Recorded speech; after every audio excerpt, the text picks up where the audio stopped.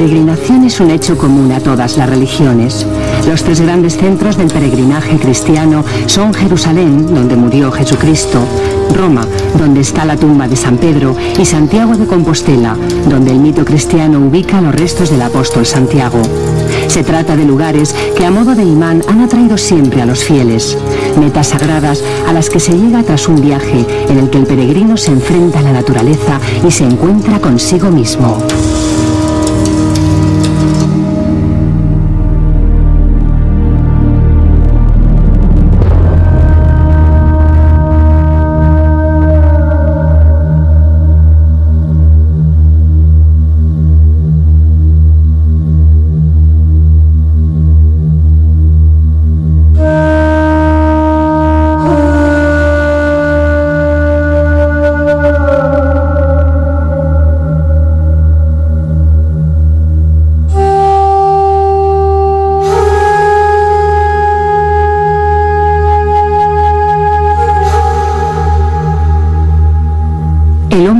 Peregrinado siempre.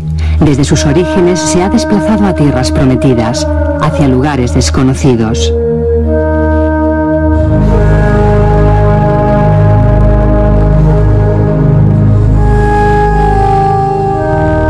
Movido por razones de fe o impulsado por la necesidad misma de caminar.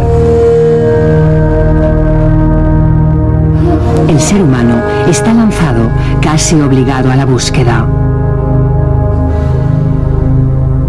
Y a lo largo de los tiempos ha manifestado esta necesidad de conocer territorios nuevos, de andar por tierras extrañas que le permitan seguir avanzando en su trayecto.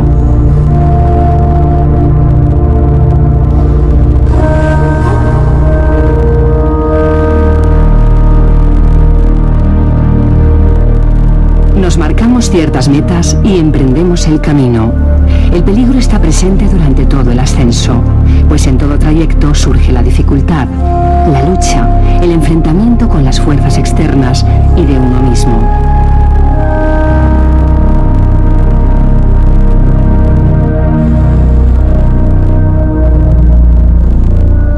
Elegir el viaje es saber que uno va a dejar atrás muchas cosas.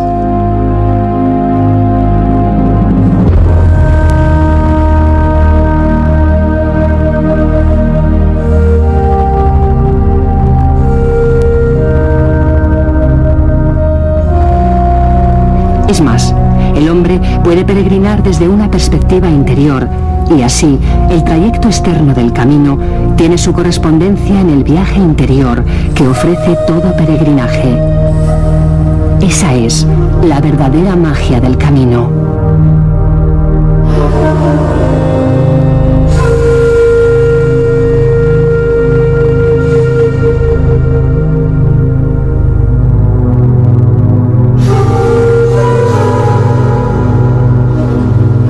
De Santiago es la ruta mágica por excelencia en Occidente, ruta que fue desarrollada y elevada al máximo por el cristianismo, pero que posee un innegable origen precristiano.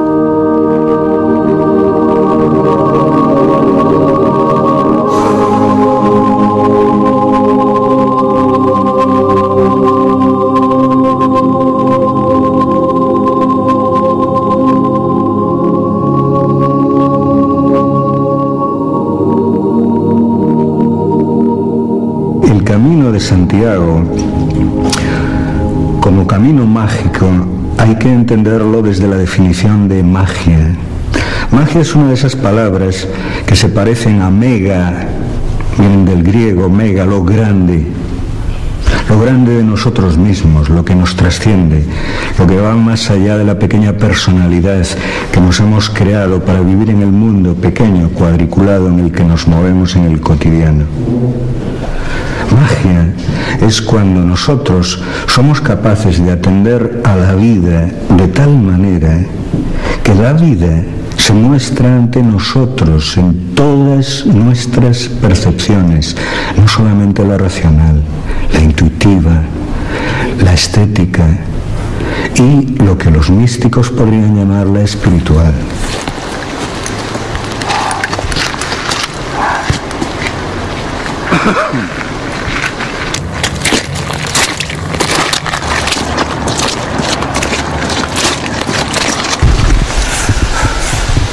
neste mundo deshumanizado, despersonalizado, onde tantos problemas temos, pois de repente estar durante un mes andando cara a un sitio que non se sabe o que é exactamente, que ten unha atracción especial, pois eh, move a moitísima xente. Cuando un peregrino del siglo XX viene andando por el camino de Santiago, realmente viene por el camino de arriba. Y es como si hubiera muchos caminos debajo que se fueron haciendo a lo largo de la historia. El camino de Santiago es es el resultado de muchos años, no es una idea que alguien planeó e hizo eh, desde un gabinete o que alguien lo pensó, sino que se fue generando el Camino de Santiago por una, por una serie de circunstancias económicas, políticas y culturales. Uno de los elementos importantes fue que las órdenes monásticas, fundamentalmente las órdenes de San Benito y del Cister, sufrieron una transformación y se convirtieron en centros, crearon monasterios que se convirtieron en centros eh, de desarrollo económico, fundamentalmente agrario, alrededor de, con los, las tierras que circundaban a los monasterios. Estos centros se fueron extendiendo, enfrentándose a la línea que los separaba del mundo musulmán. Los musulmanes habían llegado hasta Francia y aquello alarmó a la cristiandad. Y entonces los monasterios fueron asentamientos que iban tomando cuerpo y crearon, fueron creando a lo largo de los siglos una frontera. Esa frontera que va de este a oeste y que llega hasta Santiago de Compostela. Y así se va creando ese camino. Al mismo tiempo que se crea el camino, se genera el mito y este mito lo que hace es articular todo un pensamiento, toda una ideología, y una ideología católica, floreciente, fuerte, frente a la ideología o frente al pensamiento musulmán.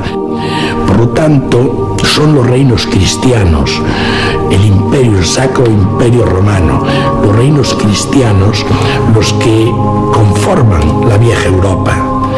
Evidentemente, en Europa, en el origen de Europa, no está solo el cristianismo, pero sí también está el cristianismo y sobre todo está el cristianismo en cuanto que se confronta con el pensamiento musulmán, con la cultura musulmana en la propia Europa.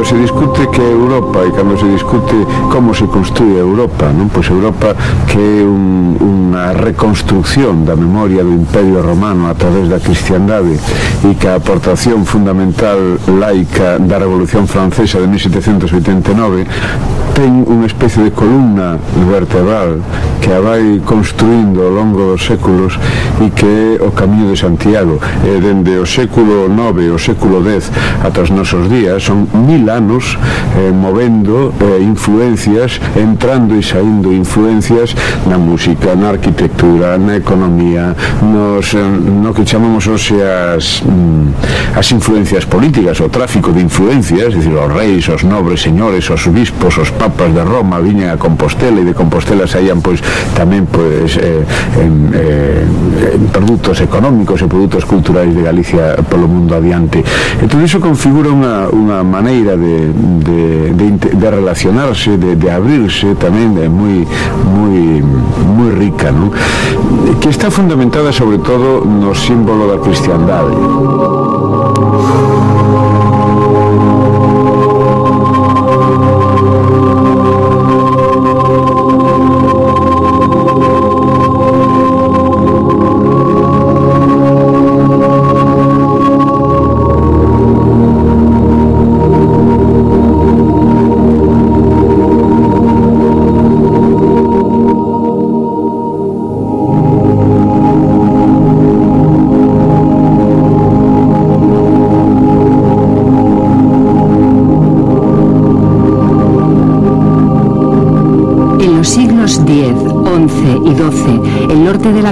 conoció un esplendor religioso-cultural excepcional, un hecho histórico trascendental que marcó el origen de lo que hoy es Europa.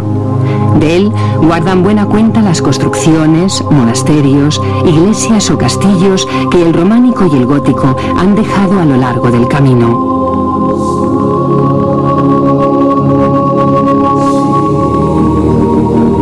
La magistral arquitectura cristiana es de una fuerza evidente se hallan capas más profundas que descubren el camino más remoto. Un trazado más antiguo construido sobre las vías romanas que llevaban al Finisterre Atlántico y a su vez se habían servido de antiguos trayectos sobre los que ya caminaban las tribus más primitivas.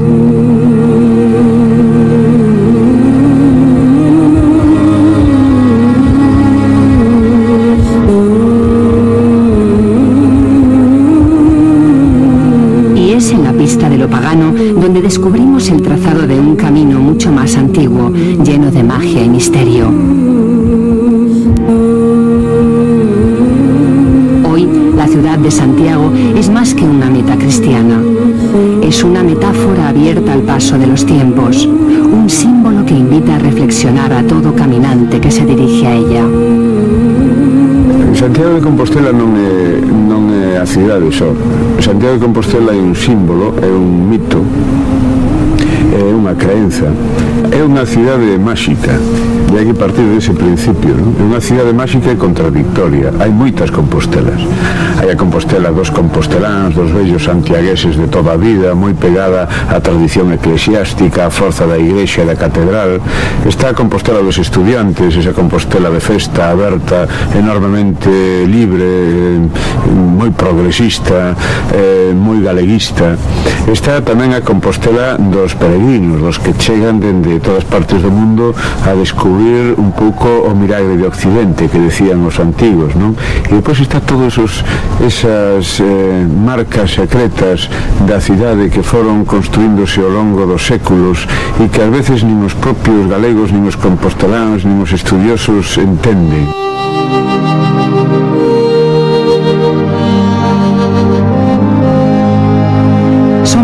Y no uno los compostelas posibles. La ciudad es un ser vivo en continua transformación que se regenera y adapta al devenir de los tiempos sin perder su dimensión espiritual. Compostela acoge maternal a peregrinos de todos los países, devotos, turistas, cristianos o no, que han elegido realizar el camino y adaptar el reloj al ritmo de sus propios pasos. Santiago de Compostela es un, pueblo viejo, es una ciudad muy vieja y es previa a, la propia época cristiana. De hecho, eh, en las excavaciones que se hicieron en la catedral durante los años 60, la década de los 60, se hicieron unas mm, excavaciones porque se intentaba encontrar vestigios que enlazaran la actualidad, diríamos, o el descubrimiento del apóstol con con la antigüedad. Fundamentalmente la Iglesia Católica trató de buscar vestigios que dieran argumentos eh, históricos al mito del Camino de Santiago, al mito del enterramiento de Santiago. Y sí encontraron enterramientos, enterramientos de notables, de épocas previas al cristianismo incluso que se aprovecharon estos enterramientos indudablemente para asentar sobre ellos el mito del apóstol Santiago y trazar toda una frontera que dividía el mundo del sur, el mundo musulmán, que era muy culto, muy desarrollado, con el mundo del norte.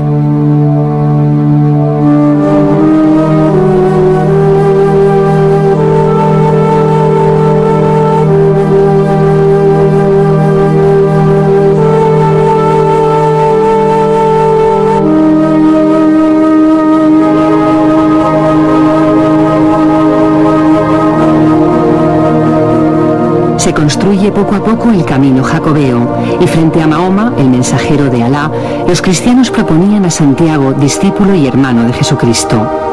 Así encontramos a Santiago Peregrino convertido en Santiago Matamoros, santo convertido en guerrero, alzando su espada, subido a su caballo blanco.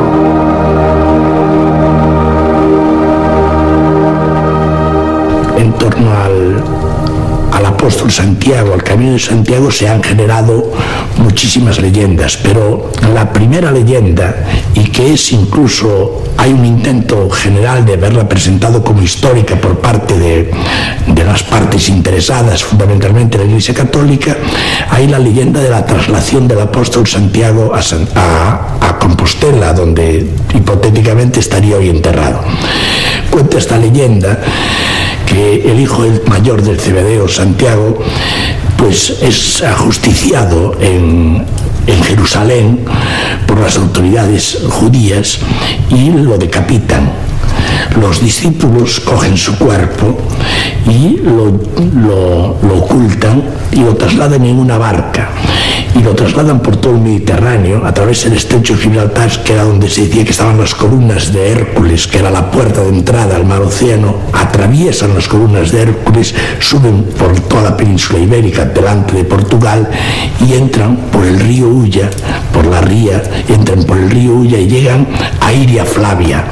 En Iria Flavia llega la barca y los discípulos intentan buscar un lugar noble, un lugar importante para enterrar el cuerpo del apóstol.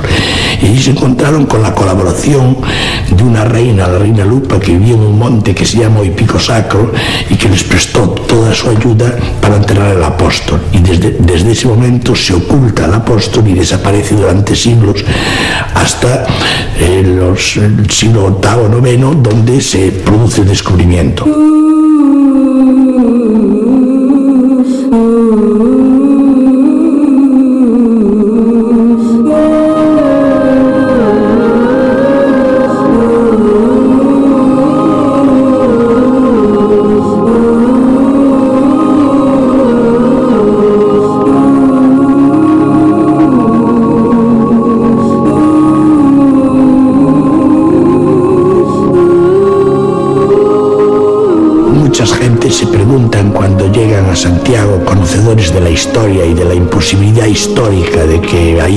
hallasen los restos de Santiago Apóstol, ¿quién entonces está enterrado aquí? ¿Quién? Hai xente que di que, que, que quen está enterrado na Catedral de Santiago é o corpo de Pristiliano e non o de Santiago Apóstolo. Eh, bueno, a historia da viaxe, da itinerancia, mm, de todo isto mm, coinciden coa diferencia de que no caso de Prisciliano parece mm, irreal, parece que é máis real, non? Que no caso do apóstolo, que, que hai moita máis mito, moita máis fantasía, chegar nunha barca de pedra, bueno, pois pues eso se parece que non é moi crible, non? Históricamente sería mucho máis probable outra teoría que cuenta que pudiera ser que estuviera enterrado Prisciliano. Prisciliano es un heresiarca, un hereje, un obispo, obispo de Ávila, Y este obispo de Ávila desarrolló una teoría crítica frente a la iglesia oficial, frente al catolicismo oficial, una teoría crítica muy mm, carismática, comunitaria, de vuelta un poco a las raíces del cristianismo y de lucha contra lo que se consideraba corrupción de Roma. La religión cristianista está baseada en aspectos íntimos e é unha religión menos mm, dogmática, digamos, que, que, que era o cristianismo naquel momento momento eh, ten moita influencia orientalista eh, de, de Maní, do maniqueísmo de Zoroastro de, de, de, de Buda incluso, non? e do gnosticismo. O gnosticismo era mm, o coñecemento, pero era un coñecemento baseado no coñecemento do propio. Prisciliano fan unhos ritos moi campestres todo é no, no fora non, non, non están nas igrexas senón que saen fora mm, eh, fan ritos nus eh, co, descalzos eh, son ascéticos. Entonces claro, isto mm, creou odio nos, nos representantes da igrexa de, eh, daquel momento, ¿no?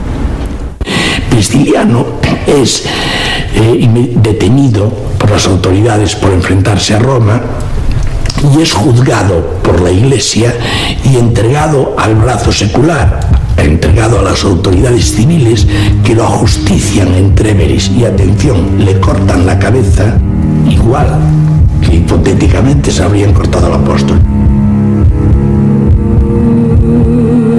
Los discípulos de Pristiliano pidieron el cuerpo de su maestro para devolverlo a su lugar de origen, Galicia, y allí darle sepultura y culto.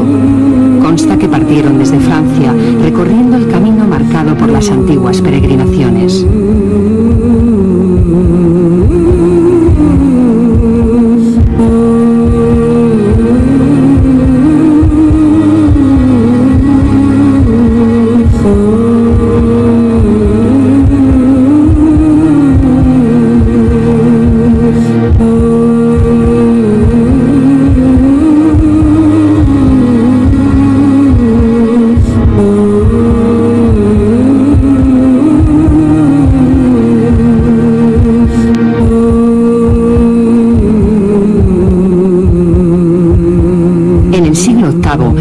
Continúa su progresivo debilitamiento frente al dominio musulmán del sur. Consciente de la necesidad de hegemonía, recupera ese antiguo trayecto solar hacia el oeste y a partir del descubrimiento del apóstol se construye el mito de Santiago. El, proceso de, construcción del Camino de Santiago se apoyó muchísimo en los monasterios eh, del Cister, los monasterios eh, partiendo de Cluny. Esto conllevaba pues todo un desarrollo urbanístico en cierto sentido, un desarrollo de creación de monasterios, catedrales, hospitales que a lo largo de los años fueron atrayendo la mano de obra, los trabajadores, los, canteros, los, braceros, pero también los, aquellos personajes que eran los maestros de obras. Sobre esto se tejieron leyendas de misterio, pero hay realidades como puños, que son las obras que han levantado estos eh, arquitectos, realmente eran arquitectos, estos artistas, y así, así se fue construyendo todo un, un camino importantísimo, un camino de piedra, un camino de piedra.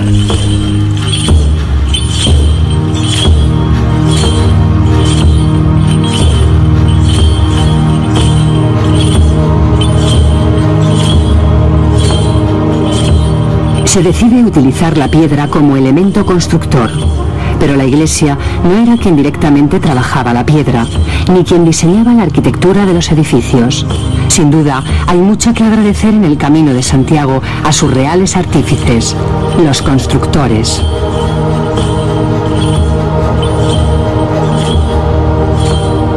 Se encomienda la construcción de albergues, iglesias, hospitales a los compañeros constructores, maestros de la cantería, profesión harto antigua que cobra nuevamente fuerza. Y es que el Camino de Santiago es principalmente un camino creado, esculpido, elevado por constructores.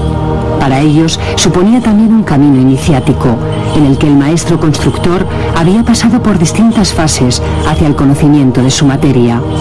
La mayor parte de los capataces recorrieron el camino y su saber parece estar plagado de la espiritualidad de todo trayecto iniciático.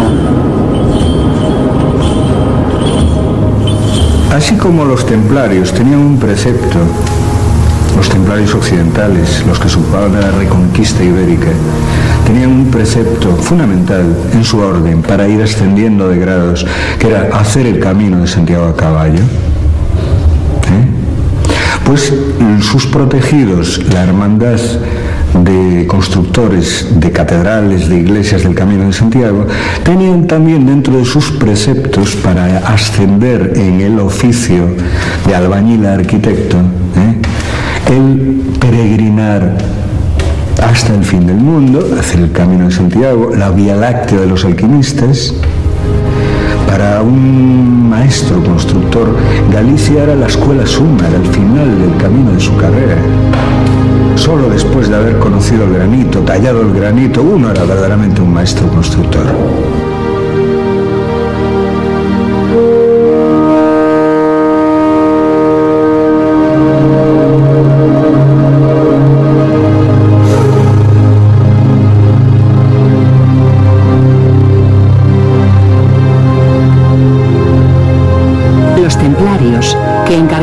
Construcciones a los constructores eran caballeros que llegaron a ser monjes, cuyas órdenes estaban relacionadas con las peregrinaciones y las cruzadas. Representan el ideal de caballero cristiano y en el caso del Camino de Santiago tienen el propósito de custodiar a los peregrinos en lugares santos y darles servicio y asistencia. Aquí tenemos un lema, que es el lema de nuestra divisa de la antigua orden, y es el que llevamos non nobis domini. Nada para nosotros, todo para la gloria del Señor.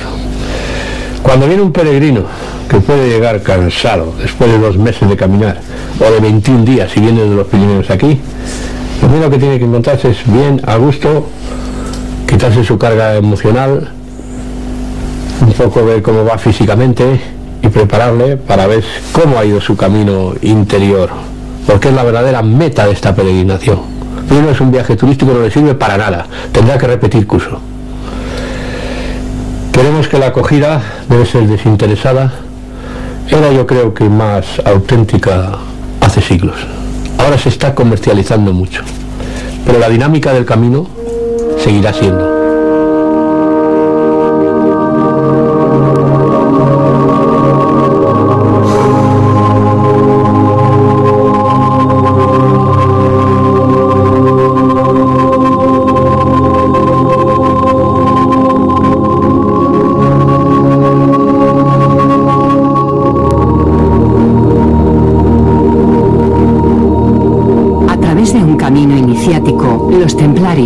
Al igual que los constructores, vivían su espiritualidad a través de niveles que se relacionan con las fases alquímicas en busca del conocimiento, la piedra filosofal. Alquimia es, digamos, el arte de las artes y la ciencia de las ciencias que se desarrolló en la Edad Media a partir de la pirámide, del concepto de la pirámide. La pirámide clásica, la pirámide egipcia era una pirámide de cuatro caras. Las cuatro caras eran los cuatro aspectos del conocimiento. Uno era la ciencia, otro era la filosofía, el otro era la religión y el tercero era el arte. Pero la alquimia suponía además un camino de transformación, porque sin transformación no se podía acceder a aquel estado de sensibilidad que permitía hacer la unión de los cuatro saberes. La alquimia era una cocción de conocimiento interior a lo largo del camino que tenía que cocinarse dentro del horno alquímico del alma, de la experiencia, de la vivencia del propio caminante.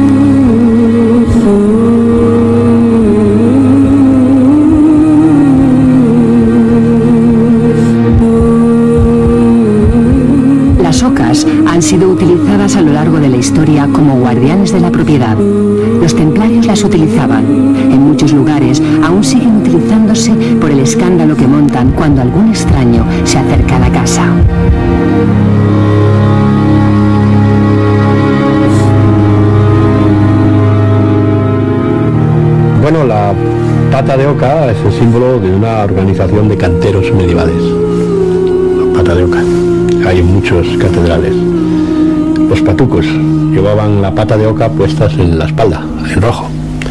La oca para los antiguos celtas es un animal guía, un animal sagrado. Y hay muchos lugares del camino que se habla de los patas de oca. Los jares entonces. Jar era el antiguo idioma, las ocas. Castro Jeriz, Castro de Jares. Manjarín, Hombres de Oca, El Ganso, Montes de Oca.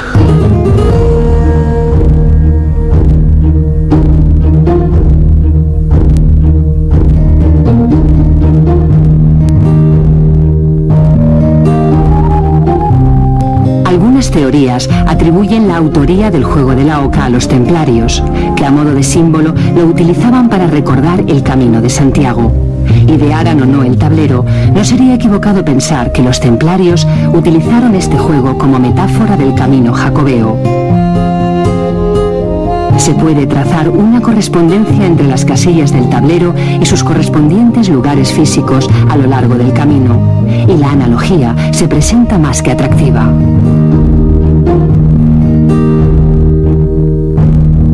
En sí es el juego, el camino del peregrino Sales de tu casa, vas pasando por una serie de pruebas, regresas al jardín de la Oca, en este caso Finisterre, Santiago es la casa de la muerte, muy cercana al final, pero la muerte iniciática.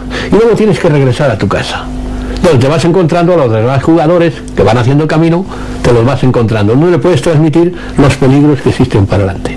Y es muy significativo que está el laberinto, está el puente, puentes en el camino prácticamente esotéricos o de estudio tenemos dos, Puente La Reina, y el puente de Órbigo. Ponferrada es el laberinto. Ahí aparte físicamente se pierden la mayoría de los peregrinos. Está muy mal señalizado. Está la posada, que en este caso son los refugios, está la cárcel, el Valle de Valcárcel, que está a dos jornadas de aquí. En fin, los dados creemos que es la piedra fundamental, la piedra angular de las catedrales. Lo perfecto en este viaje sería ir de oca en oca, es decir, protegido al abrigo de un castillo o encomienda templaria. Pensemos en el peligro que entrañaba siglos atrás echarse al camino, atravesar montes, bosques y ríos, esquivar a salteadores, no enfermar ni perder las fuerzas. Cuando los templarios desaparecieron quemados o transformados en otras órdenes militares, sus protegidos, las escuelas, las hermandades de compañeros constructores del camino de las estrellas recogieron el testigo. Y con toda la ritualística con la que ellos habían dado grados a los aprendices de oficio, desde albañil hasta arquitecto, fundaron toda la ritualística que hoy conocemos, quien la conoce, en la masonería. Uno de cuyos grados, más allá del grado 23, es el de caballero templario.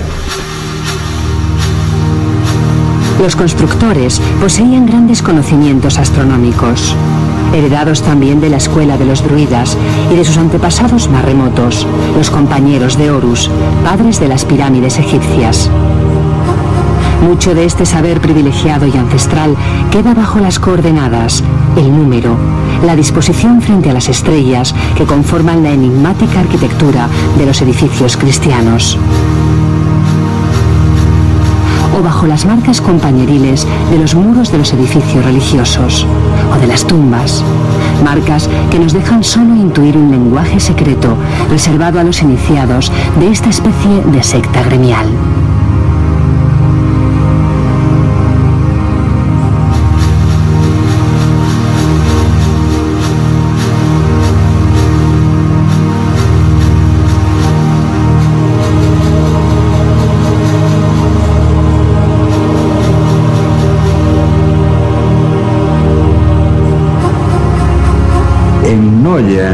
La ciudad de la hija de Noé, está el cementerio iniciático de los maestros constructores de la piedra, donde dentro de ese precepto iniciático de grados de oficio de su fraternidad, cada uno de los aspirantes a arquitecto tenía que llegar hasta Noya, tallar en granito gallego su tumba, pasar una noche metido dentro de aquel sarcófago, que era una experiencia de muerte muy típica del final del Camino de Santiago, meditar aquella noche dentro del sarcófago y al día siguiente salir de allí, grabar su nombre y seguir hasta el final, hasta el mar, hasta la entrada en el agua, el dejar que pasen 12 olas sobre ti como los 12 meses de la gestación, dejar que la madre diosa de la vida y de las aguas te geste y te para de nuevo para tú volver a la playa como un niño, como un recién nacido, como un hombre nuevo, que es el signo de la renovación del camino.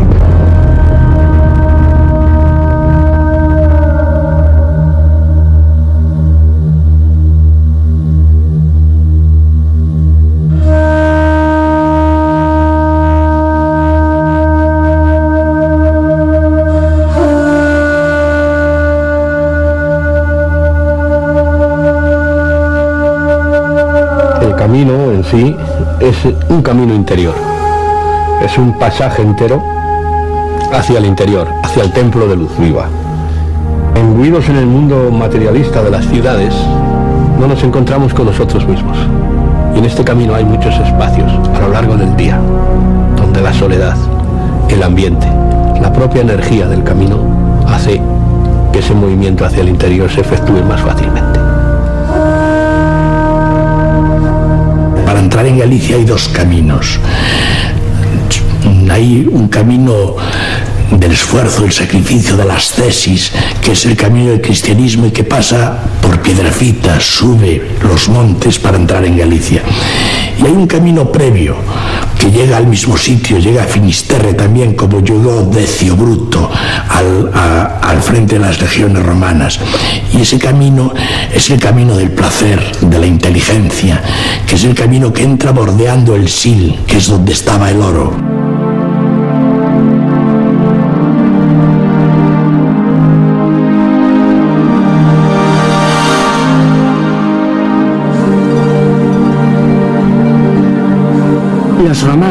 También influyeron en la configuración del mito jacobeo.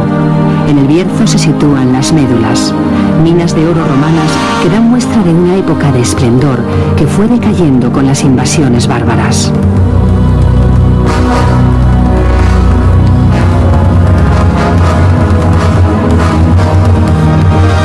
Los romanos eran un pueblo conquistador. Su águila imperial es la madre de todas las demás águilas que adornaron los escudos de los imperialismos europeos, sus hijos. Y como al águila, ellos tenían que llegar hasta lo más lejos, era su destino. Ellos fueron subiendo desde las tierras ya conquistadas y civilizadas y romanizadas por ellos del sur español, donde antes había estado Tartesos, y siguieron costeando y costeando en dirección a un país del que habían oído hablar, pero el que ninguno de ellos había estado aún, el país de los muertos, donde se acababa el mundo, Galicia.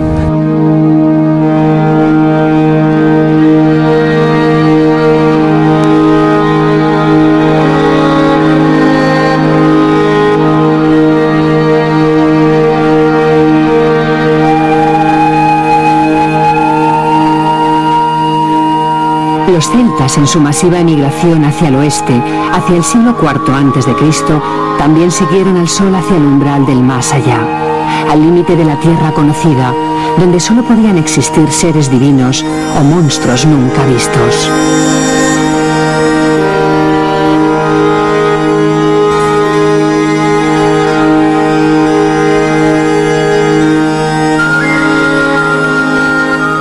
Bajo el auspicio de sus sacerdotes druidas, los celtas rendían culto a sus deidades reencarnadas en la naturaleza. Para celebrar sus rituales, elegían los lugares altos o con adecuadas energías telúricas donde se sintieran cerca de las estrellas y del cielo.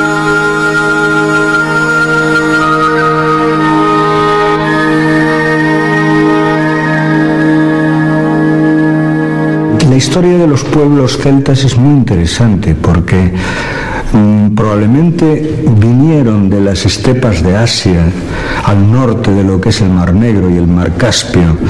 Eran pueblos que habían aprendido a usar carros de caballo, hicieron una tremenda peregrinación buscando qué? Buscando los extremos del mundo, buscando el Finisterre, buscando los Finisterres europeos, y así se vinieron en sus carros de caballos, cargados con sus enseres, con sus familias, buscando aquel lugar donde se acababan todas las tierras y estaba su paraíso, su paraíso mítico, que eran las islas de los bienaventurados. Y llegaron las rías bajas, penetraron por la península de Morrazo hasta ese Cabo Finisterre Sur, que es el Cabo Dome, enfrente de Vigo, y desde allí, casi un palmo de distancia, casi una distancia en la que los más osados podrían intentar llegar hasta allí nadando, vieron las islas de los dioses, las ínsulas de Orm, las islas Cíes.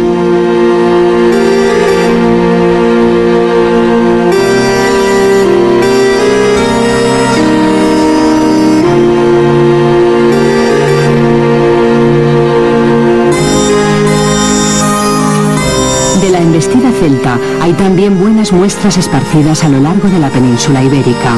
La mayoría se sitúan en lo alto de un monte, pues los castros eran fortificaciones defensivas. La cultura castreña del noroeste tiene personalidad propia, pero sus características se nos aparecen envueltas en la misma niebla que envuelve toda esa etapa final, en la que el camino se llena de mitos y sentimientos indescriptibles el camino se torna mágico.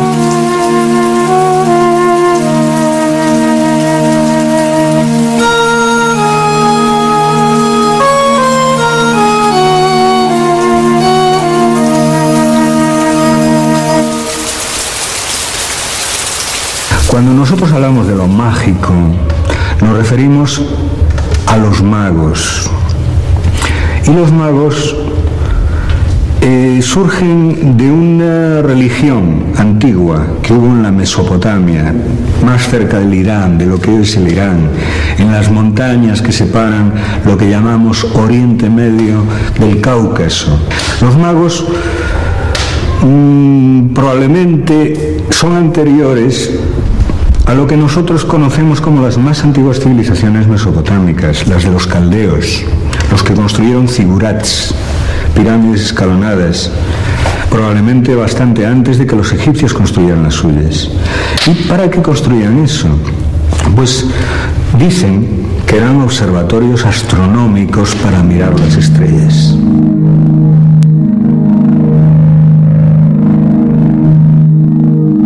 En día, colonizados por la electricidad, las estrellas ya no guían nuestros pasos. Pero pensemos en la importancia que tenían las constelaciones cuando para ubicarse era preciso mirar al cielo. Para los hombres primitivos, igual que para los hombres actuales, las estrellas, el cosmos, todos esos fuegos lejanos, pero imperativos que presiden nuestras noches, que, que, componen figuras geométricas extrañas, que cuando uno las lleva al papel dicen algo, cuando uno las transforma en geometría, en ecuaciones, dicen mucho más. Fueron fuente de información fundamental para los sabios antiguos. Las estrellas indicaban cuándo llegaban las lluvias, las estrellas indicaban cuándo se podía sembrar, las estrellas indicaban miles de cosas. A través de las estrellas, ellos, del, estudio de las estrellas en sus figuras, en sus observatorios astronómicos, ellos fueron elaborando todo un lenguaje que se correspondía el cielo con la tierra y que tenía también su dimensión psicológica, en lo que se refería a la psicología del ser humano. Ahí es que a través de la sabiduría astrológica de los caldeos, después nos fuimos acercando a otras astrologías más cercanas a la cultura occidental, entre ellas la astrología griega. En la mitología griega, los signos del zodíaco, es decir, las diferentes estaciones por las que va pasando el Sol en la Vía Láctea, ¿eh? alrededor de nosotros, se fueron resumiendo como campos en los que el sol, que significa nuestra personalidad mayor, va asumiendo distintas facetas, distintas caras. Y en Aries, en la faceta Aries, el Sol se muestra como el emprendedor, es el comienzo del zodíaco, el impulso, el carnero que va hacia adelante. En la faceta Libra, él ya se muestra como el equilibrio, la balanza, el compensación entre los polos, en la etapa escorpión profundiza, se va a los laberintos subterráneos del subconsciente, penetra en las partes más oscuras de sí mismo para enfrentarse con su sombra, para asimilarla, para convertir su flaqueza en fuerza, para poder elevarse, para que el escorpión se convierta en águila.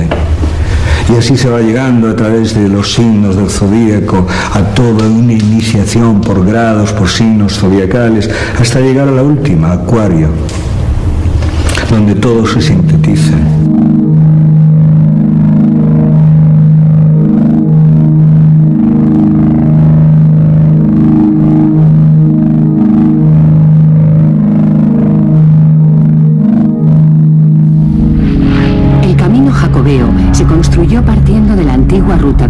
De ahí que también se ha llamado Camino de las Estrellas o Vía Láctea. Aunque hoy Vía Láctea sea el modo de designar a toda nuestra galaxia, antes hacía referencia a esa banda de hileras estrelladas que podemos ver extendiéndose a lo largo del cielo, sobre todo en las noches de verano despejadas. Esa banda lechosa que es la Vía Láctea ha guiado a todos los pueblos que a lo largo de los tiempos se desplazaron hacia los finisterres atlánticos. El camino de las estrellas sigue la dirección de la Vía Láctea, atravesando el norte de la península ibérica por el paralelo 42,5 aproximadamente. Una vía en la que encontramos abundantes elementos relacionados con el mundo celeste Pero este antiguo eje sufrió sus transformaciones para adaptarse al institucionalizado camino medieval. Como sus antepasados, los constructores del camino jacobeo, clérigos, constructores, capataces, alquimistas o templarios, al elegir sus emplazamientos, conservaron lugares simbólicos de la antigua ruta de las estrellas. Muchos de estos lugares llevan aún el nombre de estrellas recordando ese camino astrológico. Pico de Estella, Lizarra, Compostela,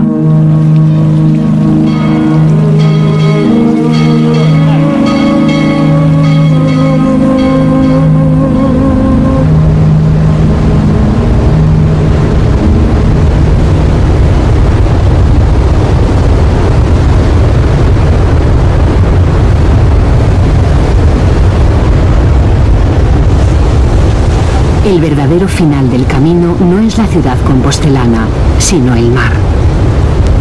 El símbolo del peregrino que el cristianismo asumió como propio es una concha, cuando Santiago, su puesto final del camino, es una ciudad sin mar.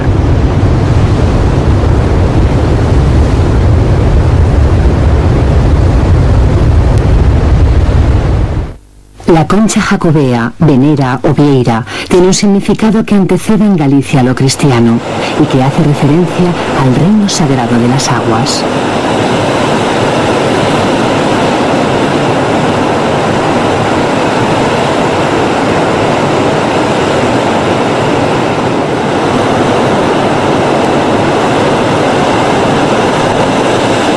El agua tiene en la memoria de nuestro inconsciente colectivo el sentido de purificación y la concha ha sido utilizada en diversas culturas a lo largo de los tiempos como elemento de culto. La concha es en el camino mágico la diosa madre que acoge al peregrino, el origen y el final, la muerte y la resurrección. El signo de la, de la, peregrinación es una vieira. Santiago es una ciudad interior. Las vieiras se recogen ¿dónde? En la playa, en el océano. Es allí a donde hay que ir.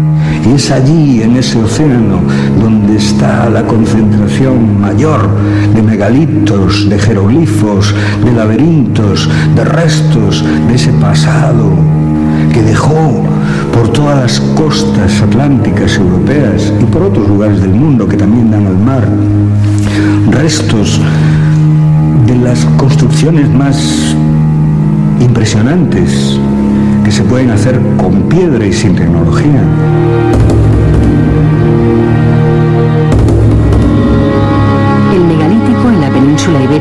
Se puede situar entre 3000 a.C. y 1800 a.C. Dólmenes, menires y otras variantes de construcciones prehistóricas tenían un carácter sagrado que hoy nos resulta difícil concretar.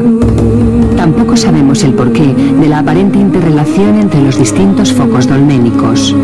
Lo cierto es que la mayor cantidad de estas construcciones megalíticas se encuentran concentradas en las costas atlánticas europeas, aquellos finisterres a los que llegaron los pueblos antiguos, quizás siguiendo el recorrido del sol hacia el oeste.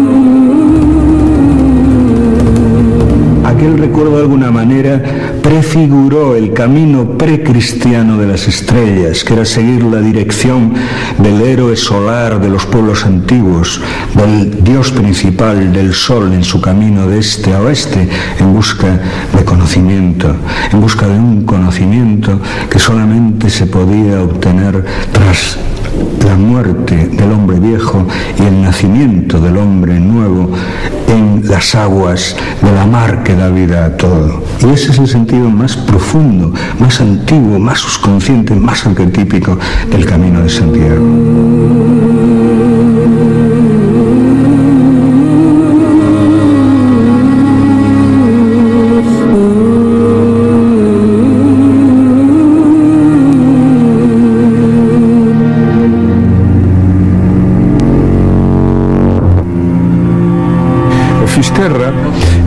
outro lugar máxico. Foi un lugar máxico antes da aparición do apóstolo. É un lugar máxico antes dos romanos. Fisterra é a fin do mundo. É unha luz especial e é un misterio especial. Quen chega ali estremecese diante daquel océano grandioso e hai que pensar o que, pense, o que imaginaban os antigos pensando que ali acababa o mundo, que había un gigantesco precipicio que, que, que conducía aos infernos. Desde el cabo, el peregrino del pasado observaba con respeto y cierto miedo la caída del sol. Rugiendo, imponente, se ofrecía a ser contemplado, como si la fuerza mítica de la costa de la muerte guardara un secreto al que muy pocos tenían acceso. Y es que donde el sol se pone, en el horizonte, se sitúa el final de todos los caminos. El ocaso es el final de todos los trayectos, como la muerte es la meta biológica de toda vida. Pero sin lo biológico la materia tiene la posibilidad de transformarse. El peregrino, como el alquimista, puede transformar su materia interior, su espíritu, a lo largo de este camino mágico. Todo esto que estamos hablando de los aspectos mitológicos, mágicos, el Camino de Santiago, los aspectos históricos, los templarios, los alquimistas, son interesantes para los contadores de historias, son interesantes para los amantes de la literatura, son interesantes para eh, captar el, el aspecto interesante, misterioso de la realidad. Pero lo verdaderamente importante del Camino de Santiago es que el Camino de Santiago, como cualquiera de los caminos de la vida, habla a cada persona en su propio lenguaje. El camino es suficientemente poderoso para que cualquiera que siga la ruta del sol desde su nacimiento hasta su muerte recorra ese mismo camino solar dentro de sí y si él es un peregrino atento, el camino habla claramente para él con todo lo que él está necesitando saber y cuando vuelve a su patria vuelve convertido en otra persona, en un caminante, en un guerrero, en una persona que enfrentará la vida de una manera más profunda, más intensa, más personal, más auténtica.